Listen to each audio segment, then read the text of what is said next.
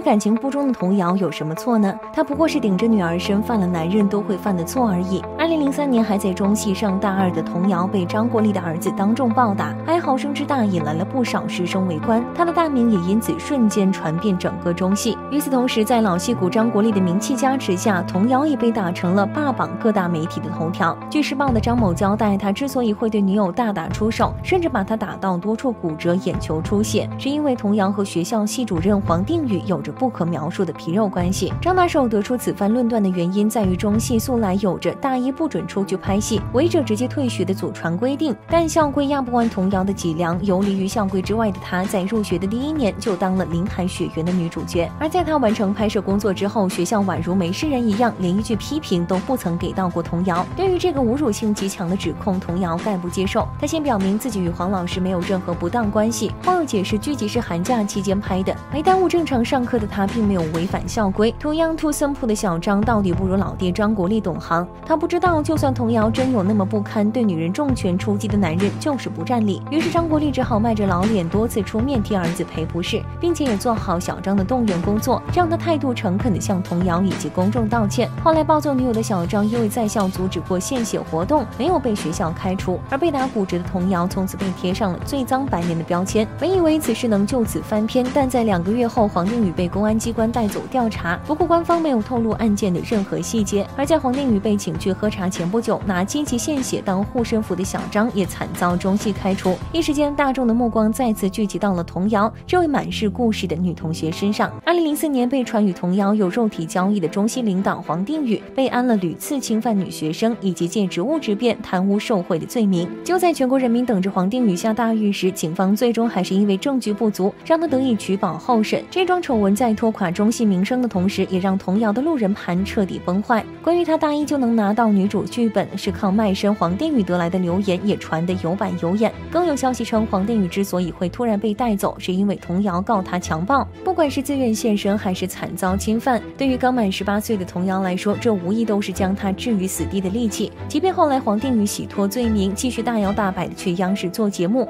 大众也还是没放过童谣。他不仅沦落到无戏可拍，甚至在学校里也被视作瘟神。据他的同班同学杨烁，也就是《欢乐颂》里油腻的小包总所说，在被打和黄定宇事件之后，没有人愿意和他组队完成表演作业。这种变相的校园暴力，也让年轻的童谣更加受伤。其实，作为专业第一考进中戏的他来说，能早早拿到好资源并不奇怪。彼时影坛最火爆的莫过于巩俐和章子怡，而童谣刚好有着一张像巩又像张的天生艺人脸，这让他在入学不久时就被学校里的老师定义为小一号的巩俐，大一号的章子怡。不过与当红炸子鸡长得像也有好有坏，一方面能够为自己徒增不少热热度，带来不少流量；童瑶还因为与章子怡过于相似，被认成是国际章的亲妹妹，甚至还接到了商家拜托她劝姐姐代言的电话。而另一方面，也会让人终日活在对方的阴影下。对于被叫了十几年的小章子怡的童瑶，她深有感触。但早些年说着要谨言慎行，争取不让子怡姐姐因她遭难的童瑶，想不到